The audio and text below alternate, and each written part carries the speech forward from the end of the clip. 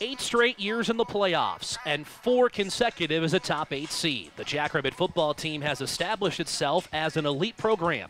Now the goal is Frisco, Texas, and the road starts today against an old friend. Seventh seed South Dakota State hosts Northern Iowa. It's the second round of the FCS playoffs from Dana J. Dykhouse Stadium in Brookings. Both to the right.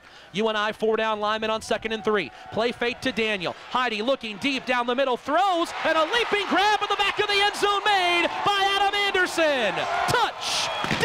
Down, Jackrabbits. McElvain out of the gun, let her high snap, three-step drop. Swings it left side, Trevor Allen ran right into the waiting arms of Seven Wilson to either side. Helmet eye, shotgun snap. Jacks rush only three. McElvain evades pressure left and finally gets sacked.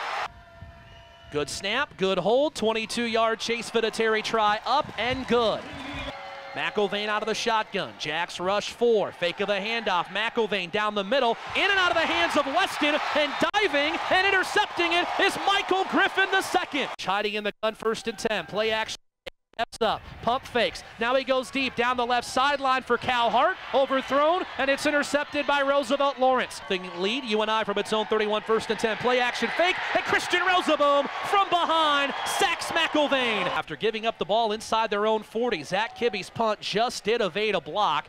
Jaxon Janke at his own 23 starts right, jukes left 25 out across the 30, fumbled the football. It's across the 35, and UNI appears to have dove on it at the 37 yard line. But two in the playoffs against San Diego.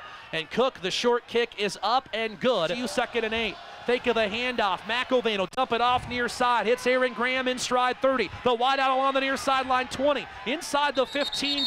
McElvain under center. Handoff up the middle. Trevor Allen, and he's into the end zone for a Northern Iowa touchdown. Out of the shotgun. Takes the helmet eye snap. Dropping to throw. Deep. Right sideline. And the catch is made inside the 10. Snap is down. Placement is good. Kick is up, and it's good.